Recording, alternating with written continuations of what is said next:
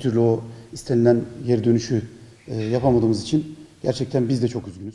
Boluspor Teknik Direktörü Osman Özköylü, Boluspor Karaçayır tesislerinde düzenlediği haftalık basın toplantısında önemli açıklamalarda bulundu. Özköylü, Boluspor'un kötü gidişatına dur demek için daha fazla çaba gösterdiklerini söyleyerek kısa sürede alınacak bir galibiyetin takımı rahatlatacağını ifade etti. Maalesef çok e, istemediğimiz ve e, bir türlü aşamadığımız bir süreç yaşıyoruz.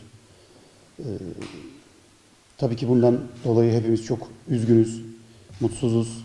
E, şehrimizin, e, camiamızın üzüntüsünden dolayı e, onları e, fazlasıyla üzdüğümüz için bir türlü o istenilen geri dönüşü e, yapamadığımız için gerçekten biz de çok üzgünüz.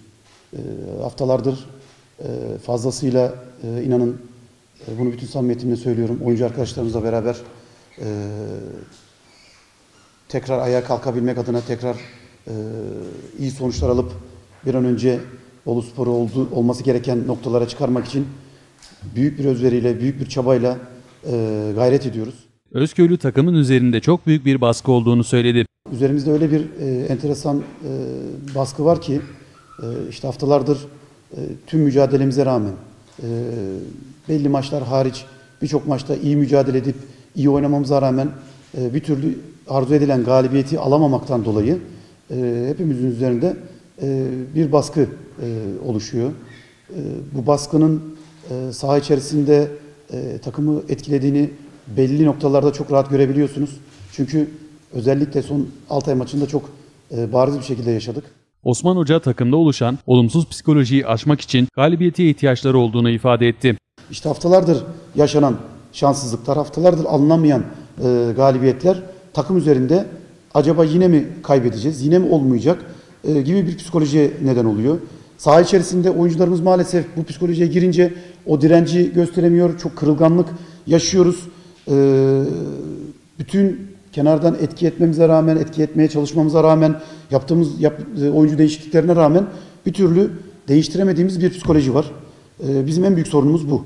Yani bunu mutlaka ve mutlaka halletmemiz gerekiyor. Bunu çözmemiz gerekiyor. Bunu çözmek için de mutlak suretle ne olursa olsun bir galibiyete ihtiyacımız var. Yani o galibiyet geldiği zaman bu takım o rahatlığa ulaşacak, o psikolojik baskıyı da atlatacak ve bundan sonraki sürecin çok iyi olacağına ben çok inanıyorum. Yani bu takıma çok güveniyorum.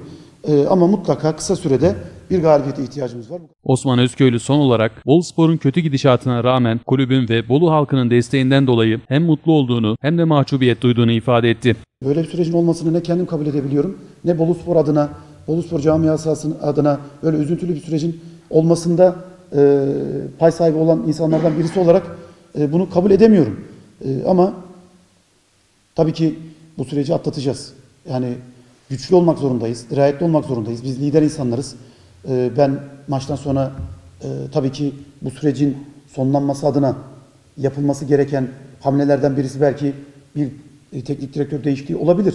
Bu her zaman olan şeylerdir, olası beklenen şeylerdir.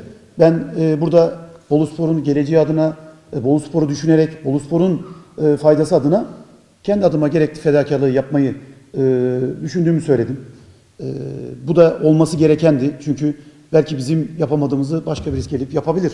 Yani bu çok e, normal bir şeydir. E, ama e, sağ olsun başkanımız başta olmak üzere e, Necip Şarıkçı ve yönetim kurulu, taraftarlarımız, e, Bolu'daki birçok insan bütün bu kötü gidişata rağmen hala bize olan desteklerini açıkça ifade ettiler, gösterdiler. Bu beni çok mutlu etti, çok gururlandırdı e, mahcubiyetimi de çok fazlasıyla arttırdı. Onu da söylemek istiyorum. E, şu andan sonraki süreçte e, sadece Bolu Spor'u düşünerek e, hareket edeceğiz.